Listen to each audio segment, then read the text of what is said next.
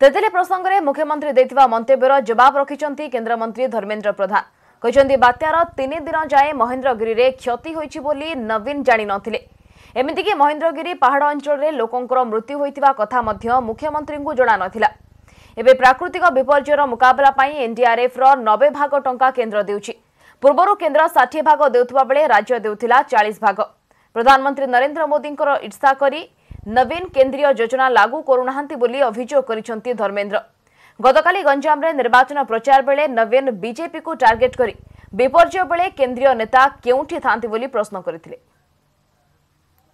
ମାନ୍ୟବର ନବୀନ ପଟ୍ଟନାୟକ ମହାଶୟ ଆପଣ ତ ତିତିଲିକୁ ବି ନିୟନ୍ତ୍ରଣ କରିଦେଲେ ବୋଲି ଗୋପାଳପୁର ସମୁଦ୍ର କୂଳରେ ଆପଣଙ୍କର ଅଧିକାରୀମାନଙ୍କୁ ଲଗେଇକି ତା ପରଦିନ ସକାଳେ ତିତିଲି ହିଟ୍ କରିବାର ପରଦିନ ସକାଳେ ଉତ୍ସବ ମନାଉଥିଲେ। ଆପଣ ତ ତିନି ଦିନ ପର୍ଯ୍ୟନ୍ତ ଜାଣିନଥିଲେ ଯେ ମହେନ୍ଦ୍ରଗିରି ପାହାଡ଼ ଭିତରକୁ ତିତିଲି ପଶିଥିଲା। ସେ ଅଞ୍ଚଳ କ୍ଷତିଗ୍ରସ୍ତ ହୋଇଛି। ବହୁତ ଲୋକଙ୍କର ଜୀବନ ଯାଇଛି। ତ ଆପଣ ନିଜେ ସ୍ୱୀକାର କରୁନଥିଲେ ଜାଣି ବି ନଥିଲେ। ଭାରତୀୟ ଜନତା ପାର୍ଟି ସେ ଅଞ୍ଚଳକୁ ପ୍ରଥମେ ଯାଇଥିଲା। ସାମ୍ବାଦିକମାନେ ସୂଚନା ଦେବା ପରେ ନିଜର ଦୁର୍ବଳତାକୁ ଲୁଚେଇବା ପାଇଁ ଆପଣ କେନ୍ଦ୍ର ସରକାରକୁ ବାହାନା ବନେଇଛନ୍ତି। ମାନ୍ୟବର ମୁଖ୍ୟମନ୍ତ୍ରୀ ଆପଣ ନରେନ୍ଦ୍ର ମୋଦିଙ୍କୁ ଈର୍ଷା କରିକି କୌଣସି କେନ୍ଦ୍ରୀୟ ଯୋଜନା ଗରିବ କଲ୍ୟାଣ ମାନଙ୍କ ପାଇଁ ଯେଉଁ ଯୋଜନା ଗୁଡ଼ିକ ହେଉଛି ତାକୁ ଲାଗୁ କରୁନାହାନ୍ତି।